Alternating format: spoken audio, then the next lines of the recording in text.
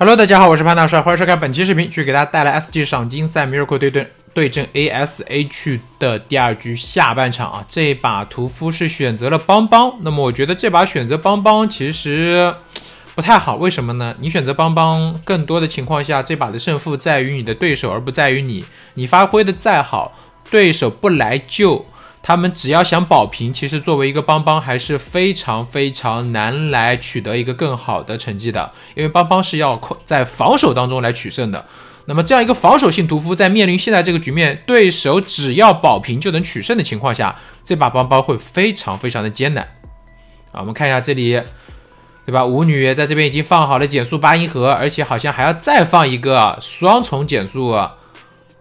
这里你会选择继续追吗？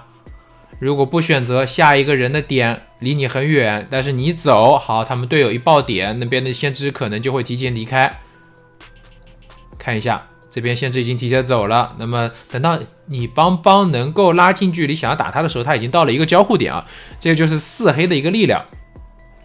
这把邦邦别说是现在这个局面抓人不太好抓，他就算开局抓人比较快的情况下，其实也比较难打的。哎，这边再连一手。还能连吗？没连上，有点可惜。这边是一个封窗的邦邦，封窗的邦邦大概率不一不会带闪现。如果不带闪现啊，不带不带挽留，不带挽留，不好意思说错了，不带挽留。如果不带挽留，这里你把这个先知抓了，他们如果选择不救这一把穷者，只要把电机全部点开，邦邦。想要取得一个三杀就很难很难了，而且这边的先知还在溜，还在溜，哇，这一颗炸弹差了一点点，真的只差了一点点。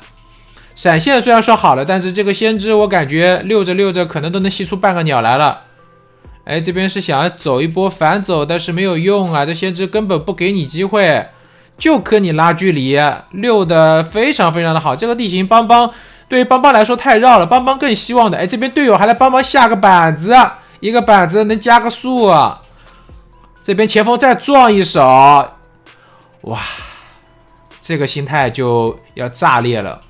呃，现在来看的话，呃，击倒这个先知呢，确实是时间问题啊，确实是时间问题，可能对吧？这边炸弹再吃一颗，然后闪现一刀就倒了。但是由于前锋有在旁边，你现在不是很好来进行一个操作，哎。这边是炸到了这个前锋，那可能要反手来管这前锋了。再一颗没连上，差一点点。前锋再交一颗炸弹，我们看这边怎么说。先知这边还想回头来管自己的遗产，这里再炸。哇，外面两台机开掉了，先知的遗产也修了一半，前锋还有一台遗产，等于说现在差一台新机，两台遗产。闪现想打一个震慑没打到，那么这个闪现一交，这一把基本上对于邦邦来说就是保平局了，或者说保平都很困难啊。对于邦邦来说，应该最多最多可能就只是一个保平了。呃，除非如果要写剧本，就是他这边呃在电机压好之前击倒了前锋，然后有人来救，全部救不下来，然后再被他的一个炸弹给全部炸倒。当然这个可能性很低啊，我觉得队友甚至可以放弃这个前锋，直接把电机点亮，然后跑就可以了。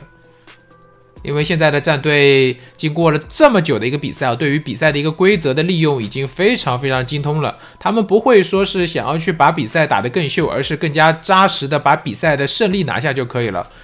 这里这前锋还在溜，这前锋还在溜，电机直接点亮，没有挽留，没有挽留，留一个都很困难。现在来说留一个都很困难。前锋这边直接有机会转进大房，转进大房之后，待会儿还要看机会从大房转出来跑地窖。